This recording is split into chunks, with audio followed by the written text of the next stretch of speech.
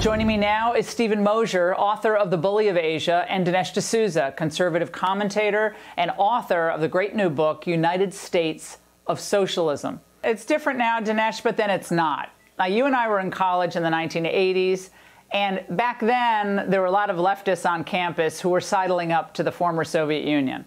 Now you see the same thing happening with China, except there's huge money payoff at the university level. Talk about that.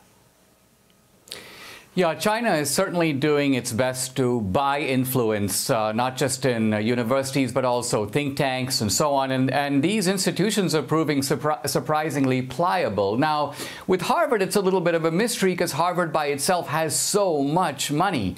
But Harvard has uh, shown a proclivity, if I may say so, over the decades to sidle up to these uh, totalitarian regimes. If I can pull a single skeleton out of the Harvard closet, uh, in 1934, Harvard alumnus, a guy named um, Ernst Hanfstaengl, returned to campus for a Harvard reunion. Now, he was a celebrity because he had just been appointed by Hitler. He was a friend of Adolf Hitler, and he had been appointed the head of Hitler's press office.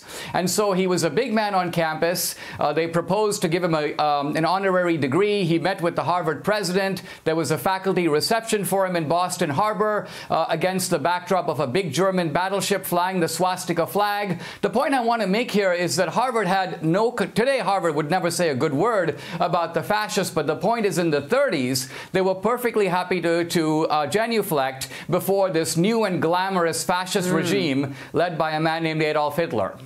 Wow. I, that was in Boston uh, Magazine, I believe, Dinesh. That was a disturbing and fascinating piece at the same time.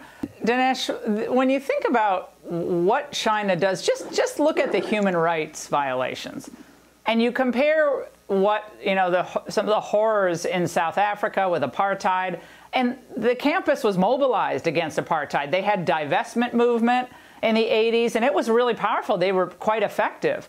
Where's the divestment movement from China?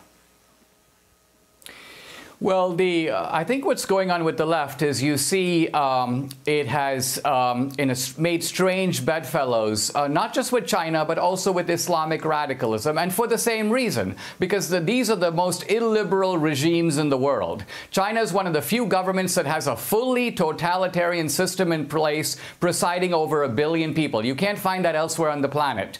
Uh, the Islamic regimes, we know how illiberal they are. They are against all the values that the left stands for, but the point here is that foreign policy, the politic, international politics is a projection of domestic politics, and the enemy of my enemy is my friend. Mm. And for this reason, the left sidles up to China, sidles up to the Islamic radicals. Why? Because they're batons with which to sort of beat up on Trump and on the conservative right here domestically in the United States.